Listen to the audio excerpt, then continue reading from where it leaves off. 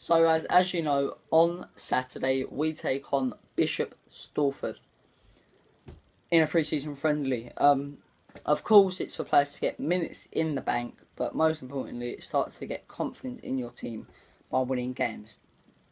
I mean, here's some stats about Bishop Stortford themselves. Last year, they competed in the Vanarama National League South. They got relegated so they're now in the Evo-Stik South Premier. So they're round about the same division, which is, I think, the test we need at this stage of pre-season. And then obviously we have Heybridge Swifts, which is a, another nice test. And then we go up a step, actually up two steps to Leyton Orient, and then up four steps to West Ham. So we are testing ourselves with teams below, above, that where where we are and well above, uh, which is important. I think um, this is probably the, the first three are the most important because they're around about where we are. The other two for me are more for publicity. Maybe not Leyton Orient, but definitely West Ham.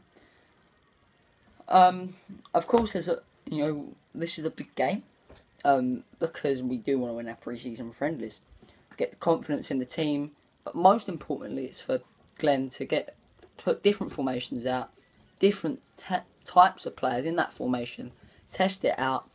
You know, this week it'll be 45 minutes, 45 minutes, go and prove yourself. The next week it'll be 60 30, go and prove yourself on a 60. And then if they do it, 75 15. It's just to get a real big boost. But by, by West Ham, we should be putting our full team out that we think is going to be there on the first day of the season. Um, of course, we've already won we're unbeaten in the pre-season. We've played one one one, so hopefully it's played two one two. Um, and don't forget to shout out "Come on, you Blues," and hopefully we'll see you there. Bye bye. Hello everyone. Just uh, want to say I think you should all, all subscribe to Billy Billericay Fans TV and uh, make the Blues heard because we're going places this year.